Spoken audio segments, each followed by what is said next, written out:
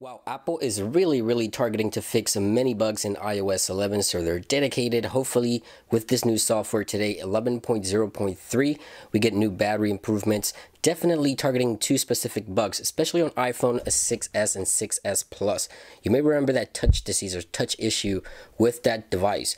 Apple actually kept signing 10.33 for those who were running iOS 11 on an iPhone 6s only in order to downgrade because the device would not recognize touch inputs if you didn't get your device serviced by an Apple retail store to fix the touch disease issue. So it definitely targets that issue. I'm going to be testing that to see if it fixes.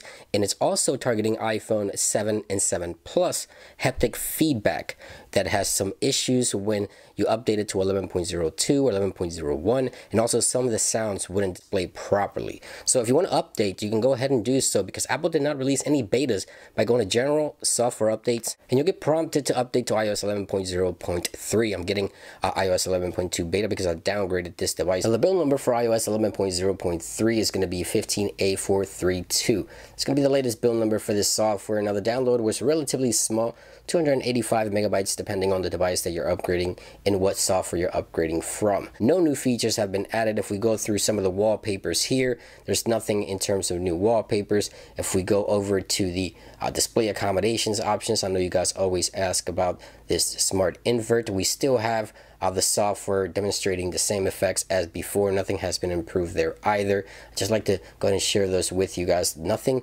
specifically new with this software in terms of features, just minor under the hood and bug fixes as we're used to with a zero point update, just a small update. Now, if you watched my video on iOS 11.1 beta 2, you might be wondering, did Apple bring the 3D touch multitasking gesture to 11.03 before releasing it with 11.1? Nope, that's not the case. It's it's not here yet. It's going to be available on 11.1. I'm sure a lot of you guys will probably curious to know if Apple did release it or bring it to 11.03, but no, 11.1, it's going to be the software that's going to be bringing that to 3D Touch devices. That about brings it into the video. Hope you guys have a great day and I'll see you real soon.